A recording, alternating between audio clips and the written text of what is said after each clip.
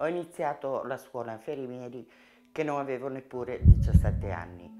Finito il corso ho lavorato saltuariamente tre mesi da una parte, tre mesi dall'altra, fino ad arrivare al posto di lavoro che occupo tuttora.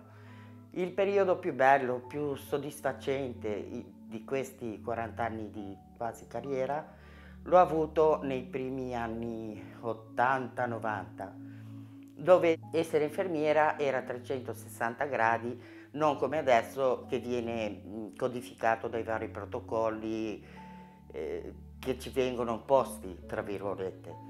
Lì potevi gestire la salute della persona nella sua interezza.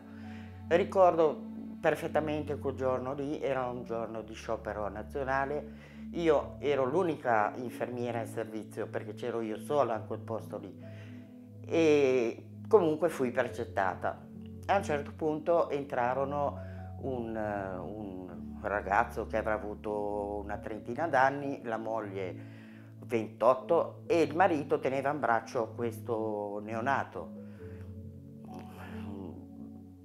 Tranquilli, alla vista così tranquilli, Guardando, però guardando negli occhi lui sembrava che avesse fatto un viaggio infinito che durasse da giorni senza quiete. E guardandola lei era tutta sorrisini, ma sorrisini falsi, finti. E non riuscivo a capire. E dico buongiorno ditemi. E cerchiamo lo psicologo. E dico abbiate pazienza ma forse non lo sapete oggi c'è sciopero. Psicologi non, non ce n'è né qui né da altre parti. Però guardando oltre vedevo lui appunto stanco con questo bambino che sembrava tenesse un fagotto e, e, la moglie che ogni volta che lui parlava lo rimarcava aspramente. Anche di, ma ditemi cosa posso fare o se no faccio quello che farai io per me. E loro rispondono no, fai un po' quello che faresti per te. E in pochi secondi, perché non è che puoi metterci delle ore a decidere quello che può essere o meno il bene di una persona i psicologi, i consultori sono chiusi, non è chiamo il servizio di salute mentale, qualcuno ci sarà. E mi risponde lo psichiatra e mi dice dimmi, eh? e dico eh, guarda qui c'è un uomo con in braccio un bambino che sembra che non abbia niente in mano, non so come spiegarmi.